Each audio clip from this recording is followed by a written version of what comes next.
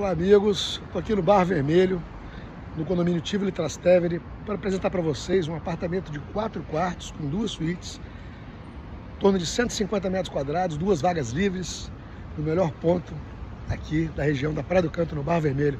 Um empreendimento construído pela consultora Albamar, um primor de arquitetura e engenharia, com um projeto de Alfredo Silva, realmente um empreendimento para chamar de seu.